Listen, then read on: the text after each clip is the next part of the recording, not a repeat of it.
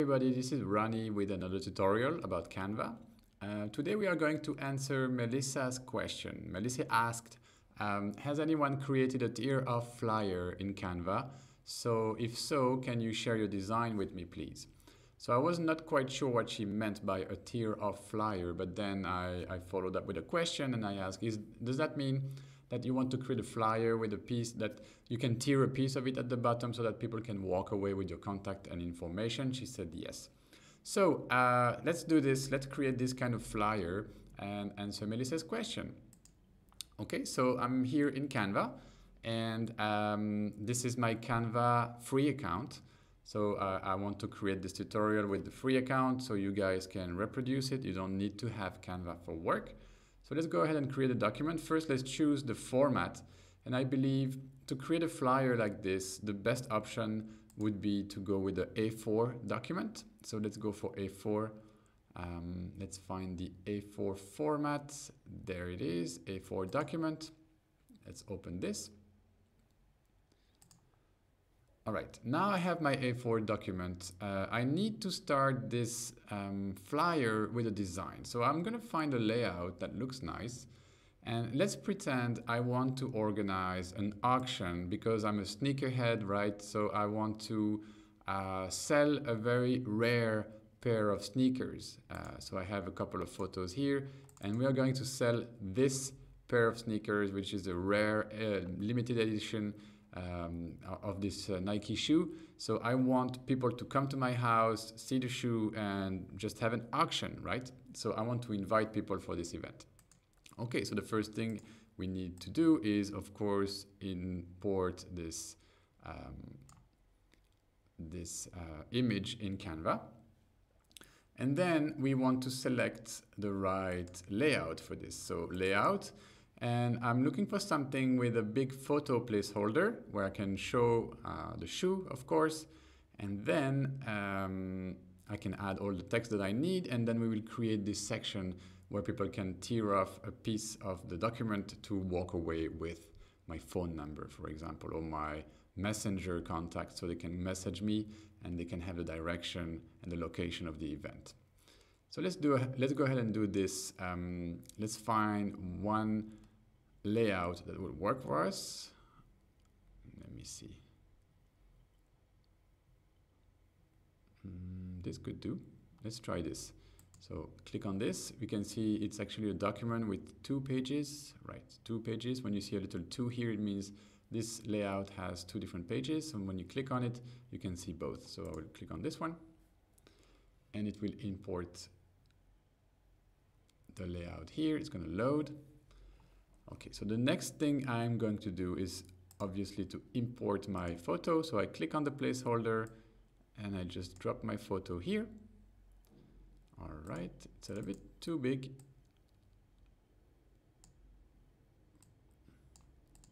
Let's see now, still quite big. So what I can do is to reduce the size like this. And I'm reducing the size of the placeholder. Okay, this looks nice. All right, so the next thing is uh, changing the text and everything. So this is not very the, really the point of this uh, tutorial, so I'm going to do this quickly. I'm just gonna put sneaker auction.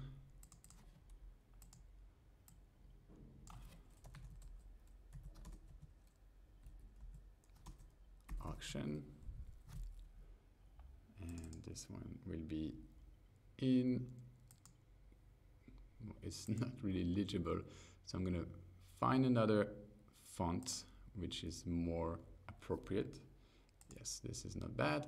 Sneaker auction and what else?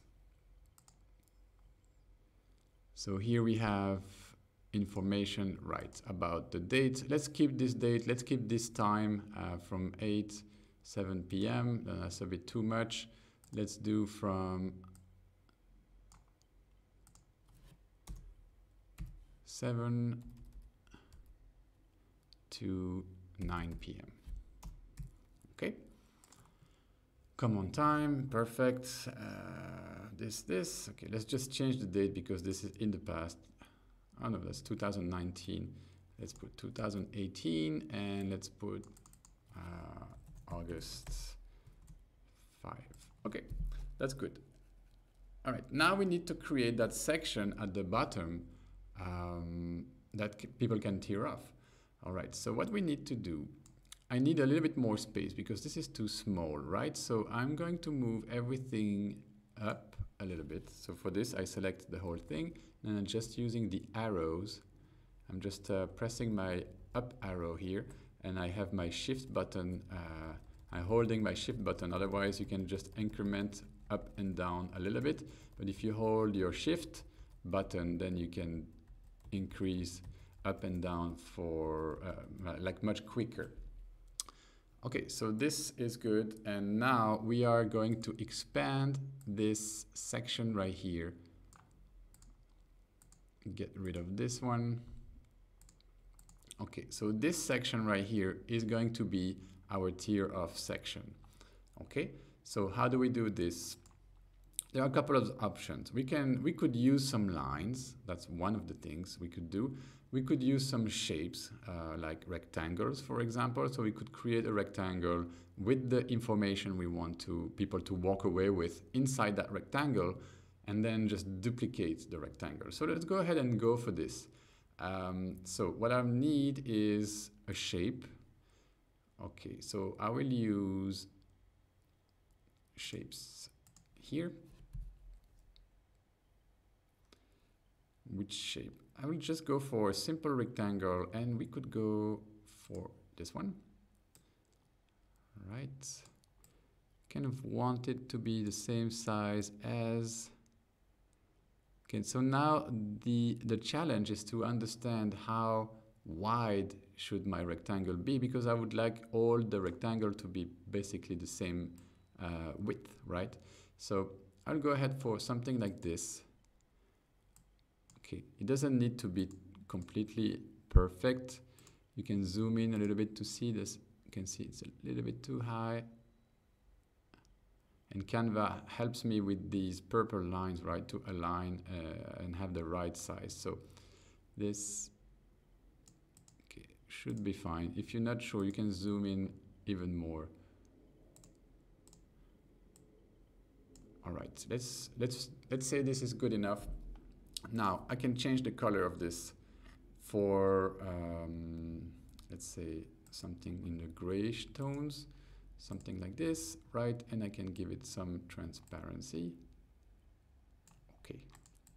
So what I can do, um, first I need to fill the information inside this rectangle. Then I will duplicate the rectangle maybe eight, seven times. So I can fill this whole row here uh, with the same information. So let's go ahead and put the information we need first. So let's say we are just going to enter a phone number, so I don't know, I just put my phone number with wrong numbers. Uh, so that's zero.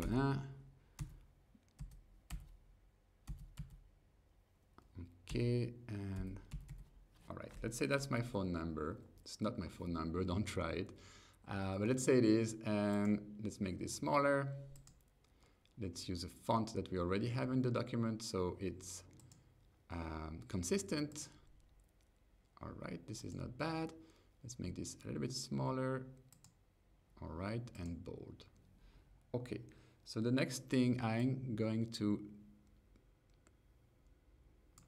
turn around this text so it's in the right orientation. Okay, looks decent. Might be a little bit too big for my, yeah, it is too big. So what I'm gonna do is reduce the font even more and go something like 16. Let's see if this works. Still a bit big, so I'll go 14. All right, it is aligned. That's perfect. So that's pretty good. Now, what I'm going to do is duplicate this. First, I'm going to group it. So let's group my rectangle here, like the grayish uh, rectangle in the background and this. So I select them both and then I group right? So the next thing, I'm going to copy this. All right, and just paste it next to it. So the trick here, if I want people to see, if I just leave it like this, it doesn't seem so much like there are two things going on. So what I can do is change the opacity of this one box. So I will ungroup, select the box, and the opacity, I will make it slightly less transparent. So there is a difference in my design. And we can see, okay, oh, there are two different uh, boxes here. I can tear off one of them. So I'll just continue copying these boxes and then I can just regroup this one. Sometimes it's difficult to select exactly both of them. So what I do usually I click outside of the visual and then I just select them. But then uh, you can see this big red rectangle is also selected. So I just hold shift and click on it so it deselects it. And now only this one is selected. I will group and then copy.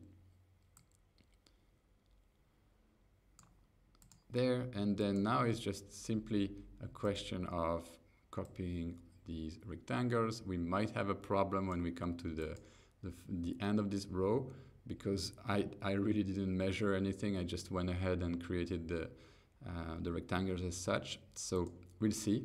Let's just do it until the end and see what happens at the end of it.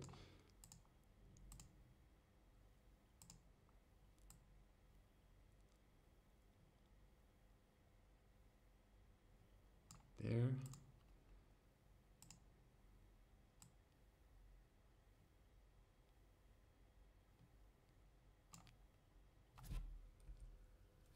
Okay.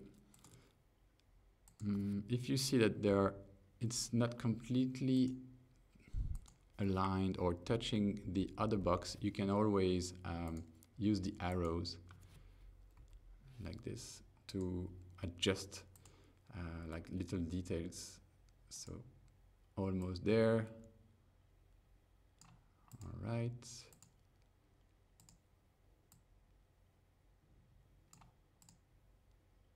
See, this one is not completely uh, touching the other box, so you can see slightly this red line in between them.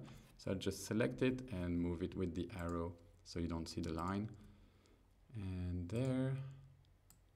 So that's what I was saying. You see, we are not exactly um, touching the end of the document and there's not enough space to add one more box. So what I can do is just simply select them all there, unselect the one behind and try to center this. So Canva will help me center this. It's not the best way to do it, but that's one way of doing it. All right, so that's pretty much uh, how you do this. Now people can understand, they can tear off one of these. If you want to make it even more explicit, you could use like a discontinued line. Let's see if Canva has it. I'm just searching for line. And I will reduce the document so you can see how it looks like. Oh, actually, when you zoom out, it's um, seems like Canva. Yeah, these are my lines. Um, when you zoom out, it seems like the boxes have moved. So you would have to export this um, this document to see how it looks because things have this tendency to move around a little bit when you export them in Canva. It's not the most stable. Um, let's see what happens when we insert one of these lines. Maybe it's going to be too big. Yeah, this line is going to be too big, so I won't be able to use this um, to indicate that people can cut or tear off because you cannot reduce the, the width of these lines. That's one of the problems with the lines in Canva. So let's just leave it like this for now. Let's export this and see how it looks. I will export this as a JPEG. Okay.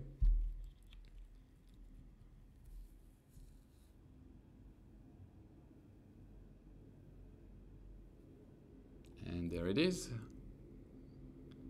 Hope it's not all over the place.